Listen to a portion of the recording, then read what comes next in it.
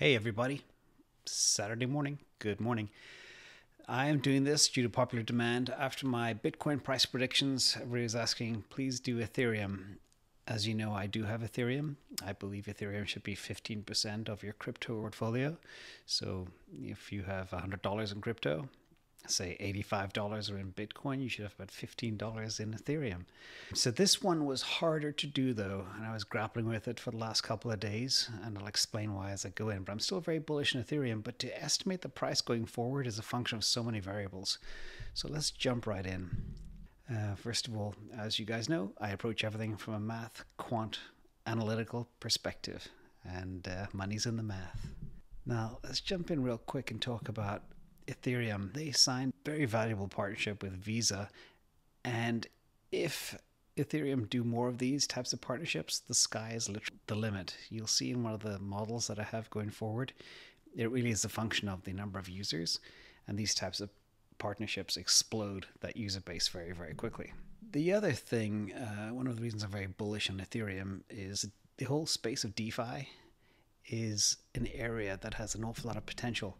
And the reason why is because the banks are broken, zombie banks. I could tell you a story recently about a mortgage experience, and it was just ridiculous. And it just shows you how fragile they are and how vulnerable they are to disruption as we go forward. So, watch this space over the next three to five years. I believe there will be a lot of disruption, and a lot of it could be triggered by all the whole area of DeFi and Ethereum. So, very quickly, sorry about the scammers. Just so you know, I am active in the comments. There'll always be a black bubble around InvestAnswers. And I will never share phone numbers or WhatsApps or emails or anything like that or ask for information. It's pretty easy to spot these guys. So, so let's talk a bit about trends before we jump into the price prediction models. This is a quick graphic of the Bitcoin search trend within Google. As you can see, it hasn't yet reached the peak of 2017. However, if you look at the Ethereum search activity, it's exceeded the 2017 peak. It's also exceeded the peak of Bitcoin in 2017. So that is extremely bullish, I believe, in this area. So watch this space. A lot of people are researching Bitcoin, but even more people are looking up Ethereum right now. Okay, quick recap. We have physical gold being a very big hedge asset. If you saw my video yesterday. You've got your digital gold, the most perfect reserve asset in the world, Bitcoin.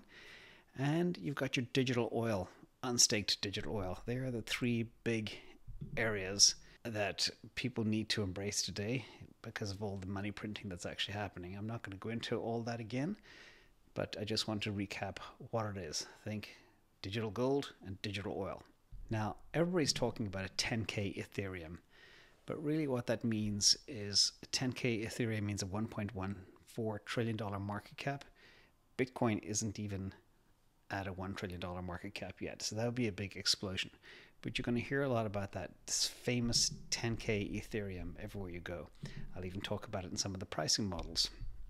The other thing that's very interesting to note about the difference between supply and as you know, one of the reasons I'm very bullish on Bitcoin is because the supply is so so limited and so scarce and so controlled. With Ethereum, it's a little bit different. So unlike Bitcoin, which has its supply capped to 21 million, but if you've seen any of my videos, it's less than 14 million. Ethereum has not opted to set an upper limit on its total coin supply, which raises concerns about inflation for the future. Currently, there are about 113 million Ethereum. Another question that pops up is Could Ethereum eat Bitcoin for breakfast in 2021? Some people think maybe it could, but uh, currently Bitcoin is five and a half times larger than the market cap of Ethereum. And for it to catch up, uh, I estimated very quickly the Ethereum price would have to go to 6,687, while Bitcoin would have to remain stable. And that means the ratio would have to go 6 Ethereum for every Bitcoin from what is currently 33 Ethereum for every Bitcoin. Now, none of this is investment advice. I just want to warn everybody cryptocurrencies are extremely volatile beasts, and a 40% correction could be in play. So, a lot of people know that Bitcoin has breached 40,000 today, yesterday as well, but it could easily revert back to 24, 28,000. And as we also know, Ethereum follows Bitcoin. They track each other. So beware of that when you're out there. Remember, this is not for the faint of heart. If you're holding, don't let it rattle you when these things happen. And we've seen recently how quickly the corrections get gobbled up by big institutions.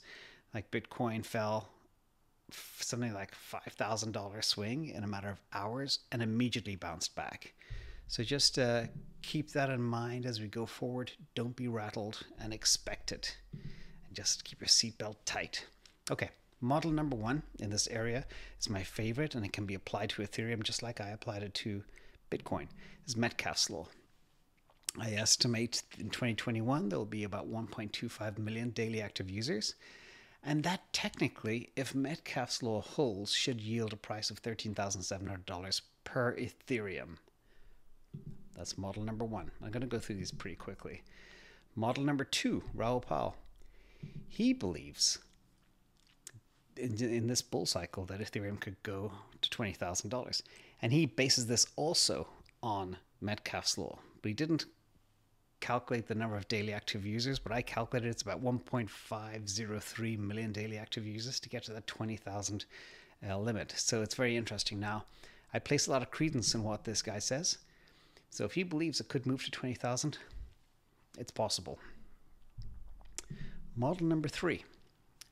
Now, one of the things I do want to mention about all of these models is they're not as precise and the foundation behind them isn't as strong as the Bitcoin models that I used when I used all 35 of them. So bear that in mind.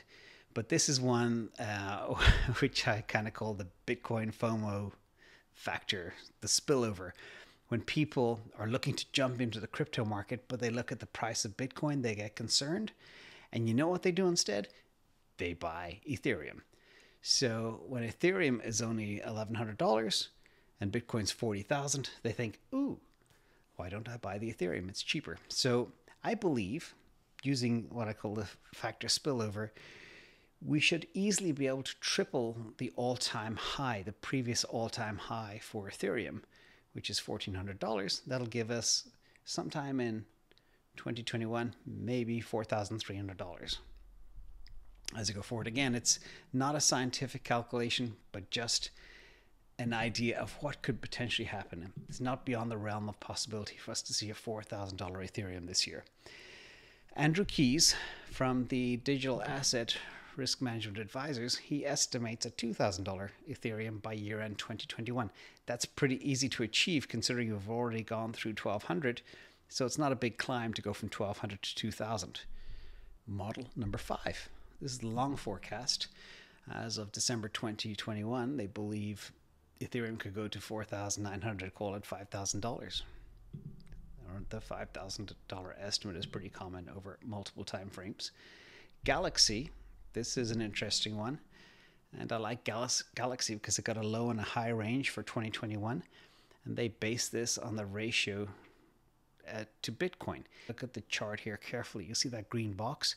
And I calculate the ratios of the ranges of those of being 0.04, the ratio of Ethereum to Bitcoin, and 0.45 that would put us somewhere in the range of $1,680 in Ethereum to up to 18,900, which is uncannily close to Raoul Pal's estimate of 20,000.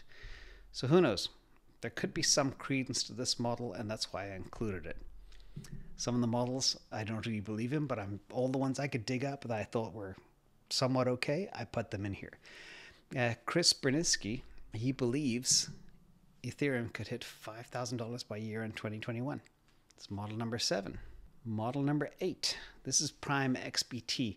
They gave predictions by year 2021, 2022, and 2025 of 750, which we've already beaten, $1,000, which we've beaten, $1,400 in 2022, and $5,100 in the year 2025.